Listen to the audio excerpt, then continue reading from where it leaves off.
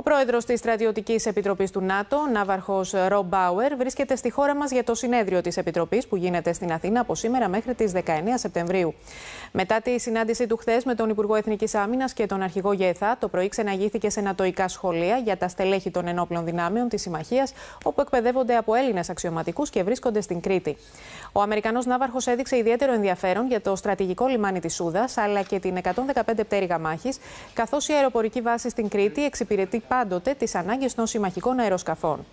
Αυτή την ώρα στη Σχολή Ναυτικών Δοκίμων, η ηγεσία των ενόπλων δυνάμεων υποδέχεται τους αρχηγούς των χωρών κρατών μελών της Συμμαχίας στην τελετή έναρξης του συνεδρίου του ΝΑΤΟ.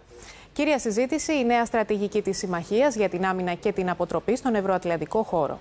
Στη στρατηγική σημασία που έχει η Κρήτη για ολόκληρη την περιοχή της Ανατολικής Μεσογείου αναφέρθηκε ο αρχηγός ΓΕΘΑ. Η Κρήτη ευρύτερα είναι μια πολύ σημαντική τοποθεσία που διευκολύνει όλες τις δραστηριότητες που διεξάγουμε με τους συμμάχους και τους εταίρους μας παγκοσμίως.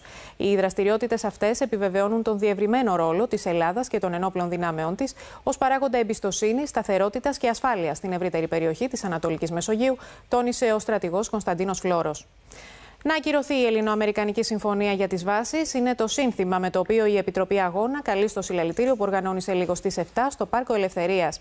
Θα ακολουθήσει πορεία στην Αμερικανική Πρεσβεία. Όπως τονίζεται, η Σύνοδος της Στρατιωτικής Επιτροπής του ΝΑΤΟ έχει στόχο να ενισχυθεί η νατοική παρουσία και η επιχειρησιακή ικανότητα στο Αιγαίο, την Ανατολική Μεσόγειο, τα Βαλκάνια, τη Μαύρη Θάλασσα, τη Μέση Ανατολή και τον Περσικό κόλπο, να επεκταθεί σε όλο τον κόσμο, να δημιουργηθούν νέες υποδομές πολέμου, να προετοιμαστεί το πρώτο πυρηνικό πλήγμα στο πλαίσιο του οξύτατου υπεριαλιστικού ανταγωνισμού με τη Ρωσία και την Κίνα.